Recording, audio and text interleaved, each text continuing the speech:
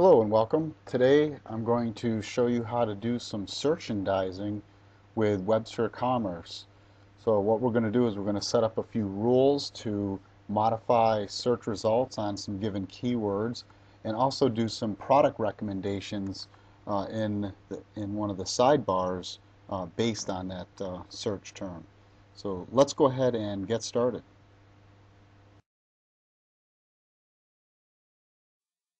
Okay, we're here in the Madison store. This is a WebSphere-based starter store uh, that has a bunch of products, bunch of uh, advertisement, and things like that.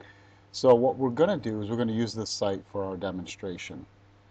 And what we want to try here is we gonna, we're going to search for coffee.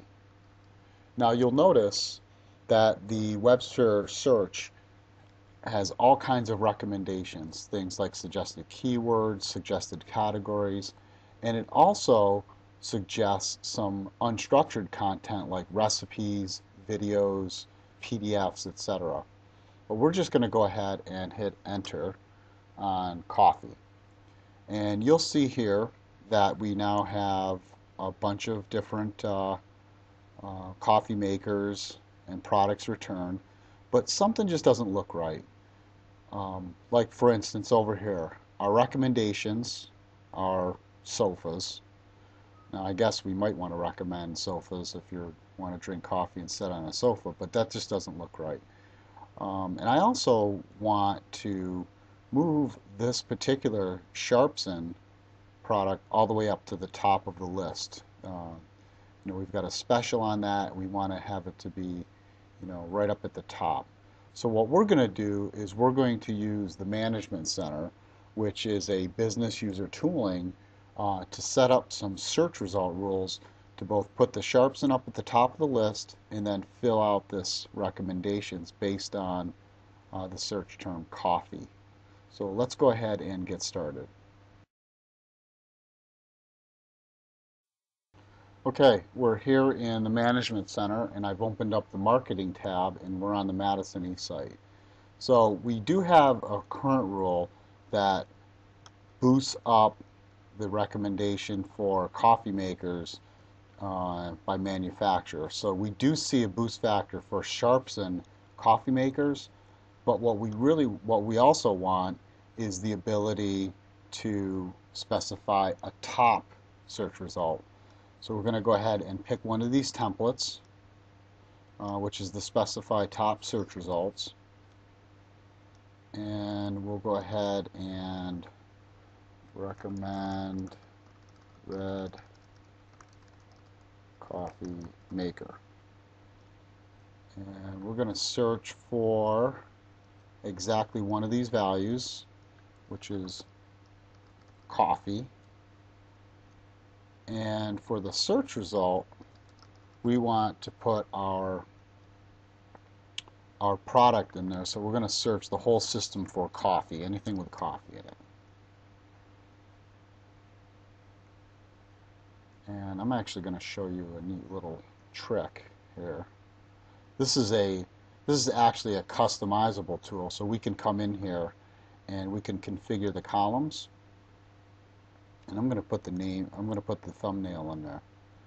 So if we come in here, we'll actually be able to see a picture of the coffee maker that we want to push up to the top. There's a couple of red ones. Uh, I think it was actually up here. Here we go, right here. So we want to promote this guy to the top. We'll close our little utility pane.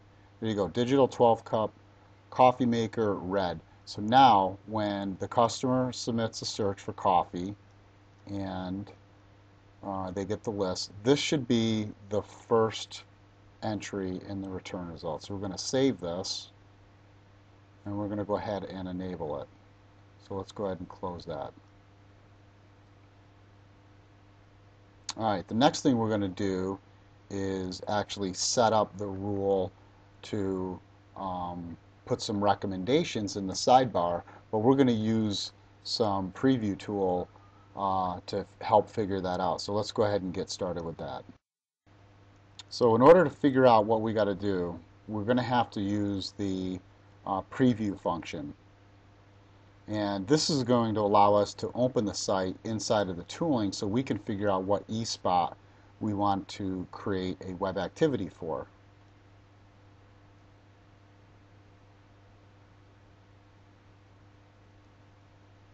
We'll launch the store and once we come up we're going to come in here and we're also going to search for uh, coffee just like we did before.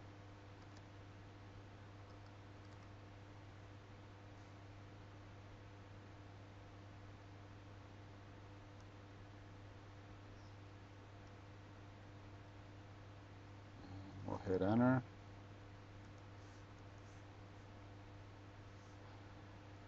And you can already see that um, the one rule has already taken place. So we've got the Digital 12 Cup Coffee Maker Red right at the top of the list. Um, but these recommendations still look a little annoying. So we're going to go ahead and show the marketing spots on this page. And you can see here that the name of this particular spot is called Right Sidebar Feature Products. So that is the activity, uh, the web um, eSpot that we're going to create a web activity for to recommend, you know, some uh, intelligent uh, things here, maybe some filters, for instance. So let's go ahead and um, create that activity. So we're going to come in here and we are going to create a brand new activity and we're going to do a category entry recommendation. Okay. We don't need to see a video on it. And we'll just say, let's see here, recommend for coffee. Okay.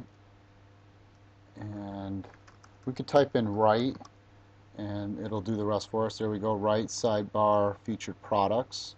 So that's going to be the eSpot.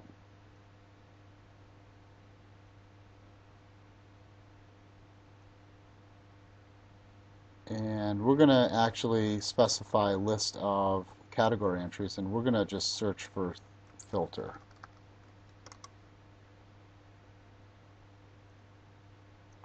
Let's look at some of these over here. I mean, we could put we could put any products in there we want.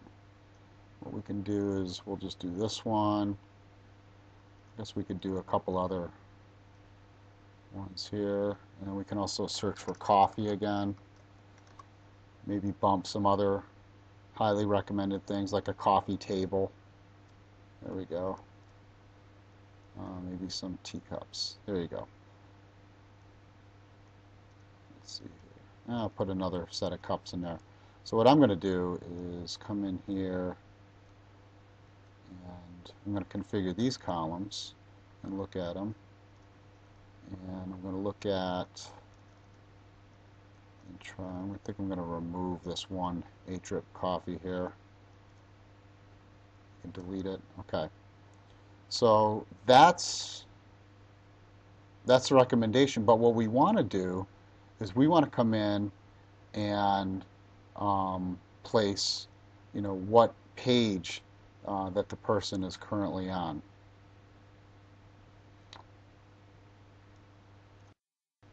Oops, so that's actually under targets. Sorry about that.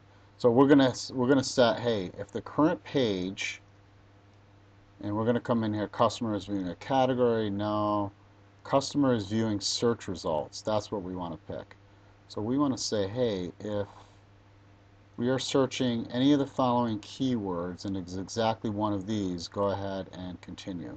So we're going to put in coffee in there. And we could also use synonyms. But what I want this to do, I want this to override the current advertisement. So we're going to bump up the priority to this by a couple hundred to make sure that this activity overrides any other activities when coffee is searched for. So let's go ahead and save that and we'll go ahead and enable it. and now we can go and test it in the website. Alright, so if we just go over to the browser and come to the home page and we just search for coffee like we did before, you get the same suggestions.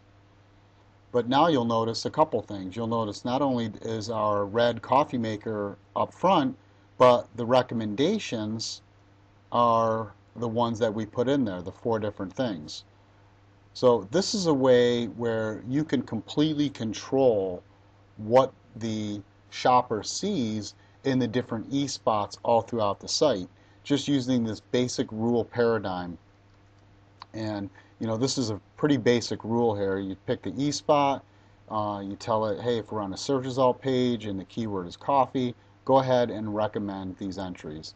And that's pretty much it. And that, uh, that concludes this demo. And I appreciate you watching. Thank you.